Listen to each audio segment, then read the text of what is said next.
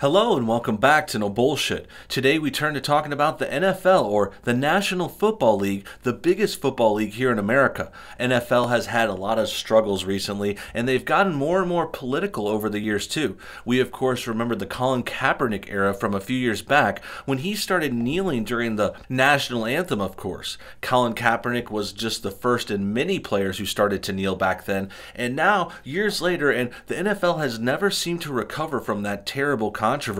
Of course, America and people here have a right to protest, and that's what those kneelers thought they were doing. And to them, they were, but really, to us, we saw them as being un American jerks who were kind of pushing this fake news narrative about the police being brutal to minorities when really they're just doing their jobs and trying to protect us and save lives. The other thing interesting about the NFL lately is them being stricter about their rules and stuff. They've kind of softened up their game. They don't let people hit each other as hard. They've changed the rules and kind of made it a more toned down sort of match. And people have just started to lose interest between the political stuff and other things going on, like these rule changes and just them being kind of terrible and kind of anti Trump at sometimes. It's been kind of off putting, and a lot of people have sort of given up on the NFL in a lot of ways. Now, this year is a little different since sports have all been pretty much canceled. NFL might come back this fall. We might be ready for sports and stuff by then. But for now, we don't really know what's going to happen. I think it might come back and it might be a better fall and we could get back to normal a little bit, but we'll see. But there are some other things that have been changing, and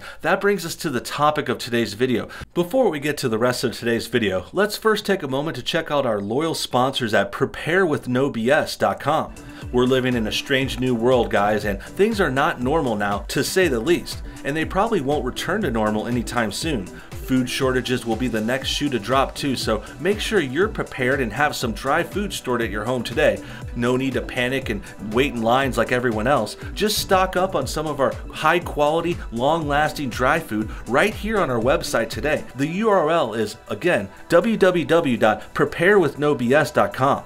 Today, the NFL has made a recent announcement where they're going to start giving their teams bonuses and extra gifts if they hire certain kinds of coaches. Now, I'm sure you could probably already guess where this is going. I know the question in the title probably made it pretty clear, but basically, the NFL is saying if a team hires a black coach, they'll get better picks in the upcoming draft. Draft is whenever teams pick up players from either college or minor leagues and they draft them into the major leagues and start playing them in the big games. But draft picks can be here or there. You know, draft picks can be good. The first couple draft picks are usually significant because every year there's probably at least one big breakout player coming up from college. But after that, it gets a little strategic. There's a lot of players that go, there's a lot of rounds, there's a lot of teams, and people just try to pick up, you know, sorts of random spots that they might need a kicker, they might need someone on the defensive or offensive line, things like that. But this new development is certainly interesting. Hiring black coaches will get you better draft picks. I mean, you can't get much more biased and social justice warrior than that. This is very woke move, a very progressive, uh, kind of left leaning kind of thing. It's like affirmative action in sports, and that's why a lot of people have been upset. This tweet from Jim Trotter has more details. It says Breaking NFL owners will vote next week on a resolution that would improve a team's draft position if it hires a person of color as head coach or general manager, per sources.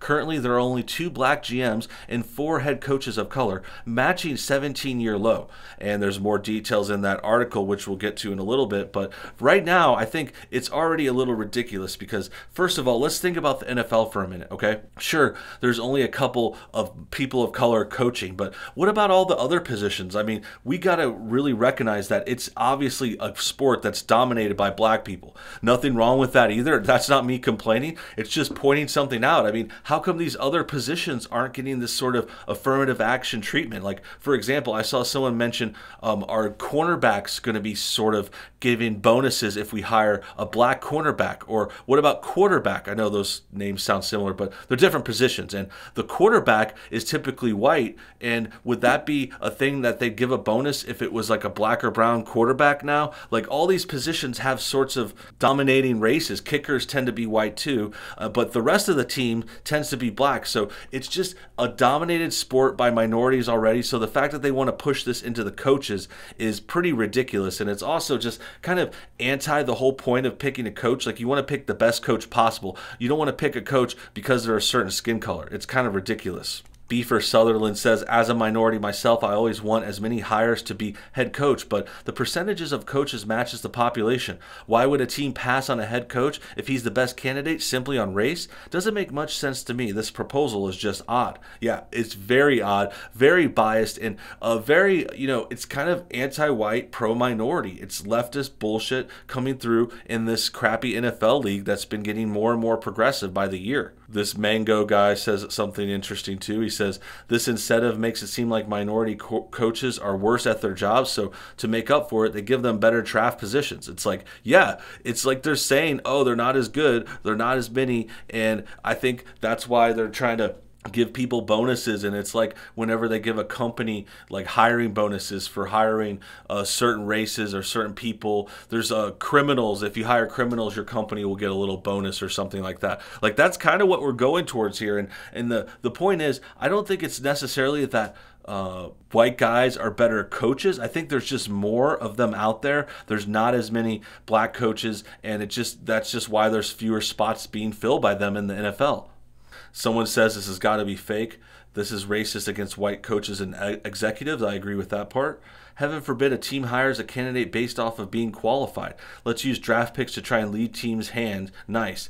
Blue, black, white, pink, green, who cares? Should be most qualified for the job. The most qualified person. Yeah, that's the point you got to hire the best person, not someone who is just a certain skin color that kind of gives you guys credit and virtue signaling. This is virtue signaling by the NFL. Now, granted, this hasn't been passed yet. It's just a possible resolution. I wouldn't be surprised if it was passed, though. And I will also note that these draft picks, it's not the biggest deal. It's possibly, you know, if you get a number one draft pick, you might pick up someone that's the best player and becomes like a league leading player, like, say, uh, Peyton Manning or something like that. You know, once in a while you'll get a big good draft pick but most of the time like 90% of the time it's just filling in little spots. Maybe you get lucky. Um, most of the time you know college players they don't always end up being the biggest stars. Like it just doesn't always show in that system. It has to transfer and you learn a lot of different things in the nfl but the point stands. This incentive is baloney. It's silly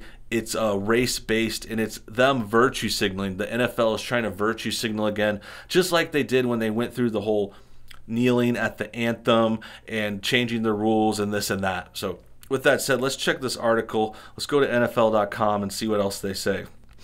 Owners to vote on resolution to incentivize minority head coach and GM hires. This looks like there's a video. During his State of the League address three months ago at Super Bowl LIV in Miami, Commissioner Roger Goodell acknowledged a need to increase the opportunities for minorities to become head coaches and general managers. Clearly, we are not where we want to be on this level, he said. It's clear we need to change. We have already begun discussing those changes, what stages we can take next to determine better outcomes.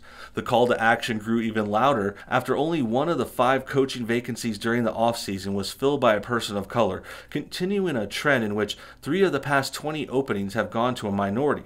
Now, in perhaps its most aggressive and controversial attempt to address the issue, the league will present a pair of resolutions this coming Tuesday during the owners' virtual meeting that it hopes will level the playing field. Now we're talking about the draft thing again, and it's just another th- point to the point is they don't understand what minority means. I mean, the point is these minorities aren't as many people here.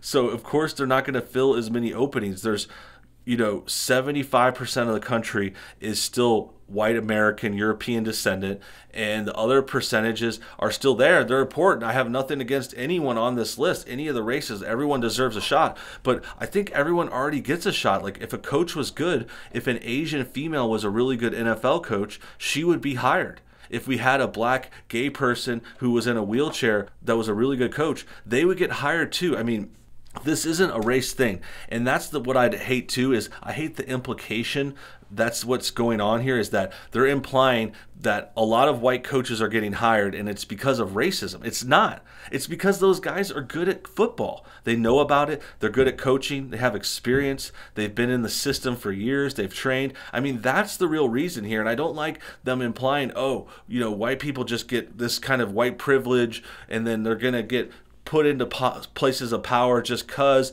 they don't have any requirements, they don't have any sort of experience or good things behind them. That's just not true. These guys did their work, and I'm sure if they don't work out, the the president of their company will fire them. They'll find a new coach. These coaches don't just get hired and put in because of the race. And that's what's implied here. And that's the worst thing. And the other thing that's the worst part is if you think about their proposal, now first they're implying that white people are hired because of the race. And their solution to that is to hire minorities because of the race. So the point is okay, is it wrong to hire people because of race now? Because these people that say it's bad are also suggesting we do that.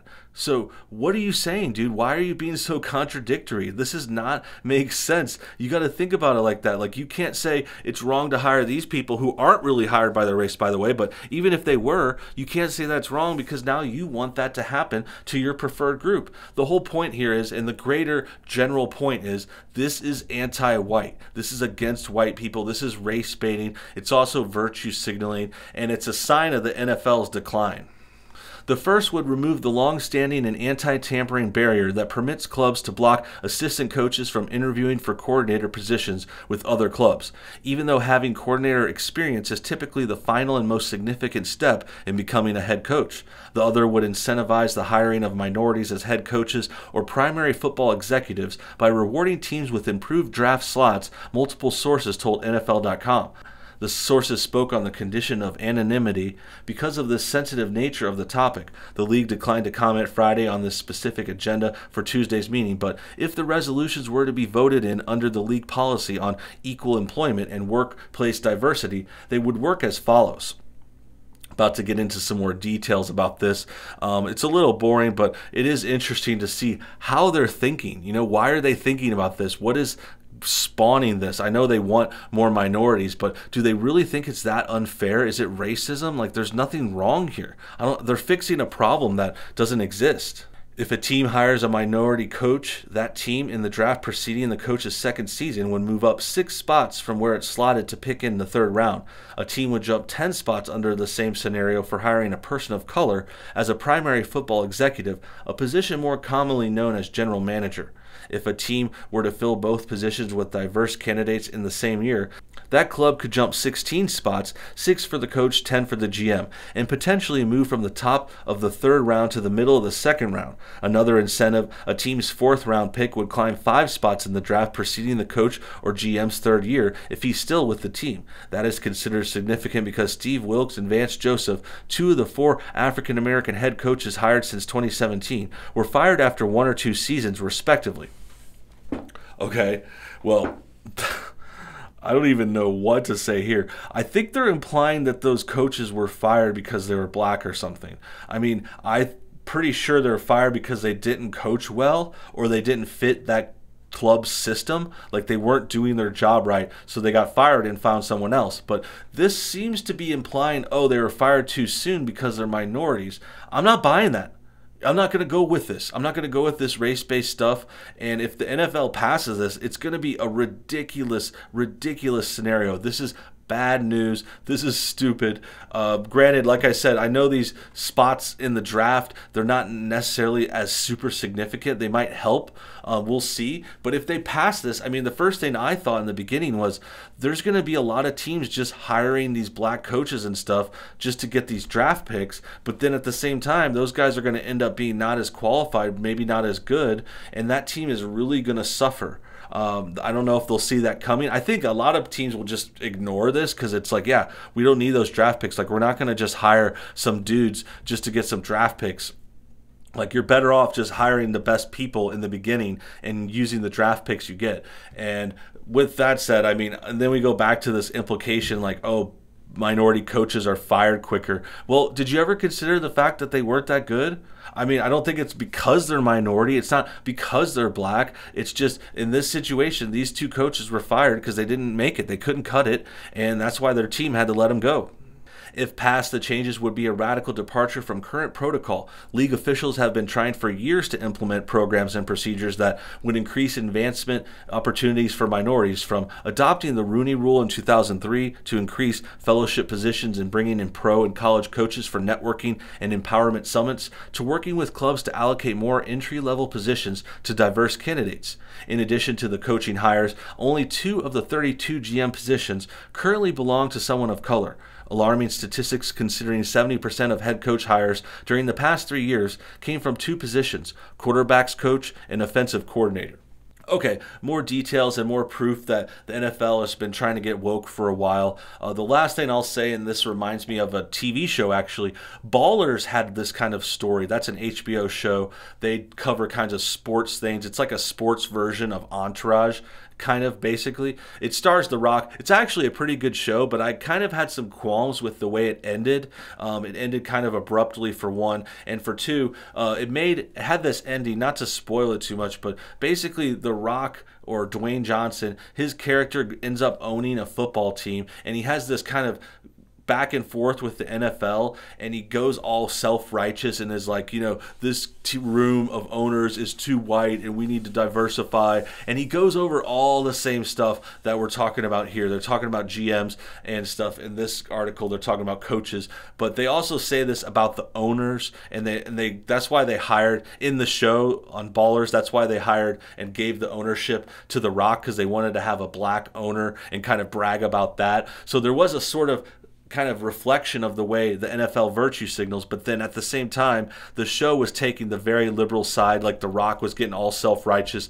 all virtue signaling and baloney, and it was terrible. And it just reminds me of this idea. It's kind of like that show almost predicted that they would do something like this in the NFL. They would get all woke like this, now that I think about it, and it's really tough to watch.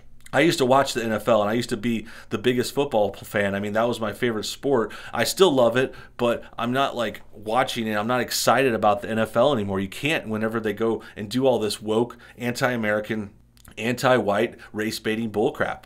That about wraps things up. Thanks for watching today's video. I hope you guys enjoyed it. Make sure you leave some comments below. Tell me what you think. Tell me what you think about the NFL, their new rules, their virtue signaling, and all that. And also, hit that like button if you enjoyed this video. It really helps us get shared and get the word out there. And until next time, have a great day.